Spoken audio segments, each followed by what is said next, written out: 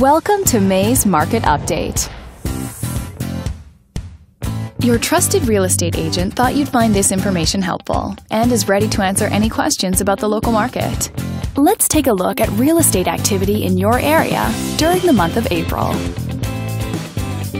The number of active listings was down 16% from one year earlier and up 7% from the previous month.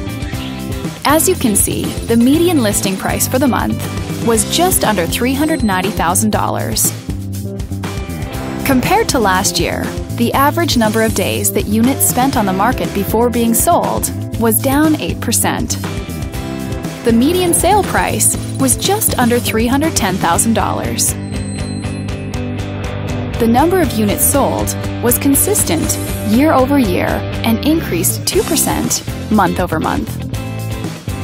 Thanks for watching. We hope you found this video helpful as you gather more information to make smart, informed real estate decisions.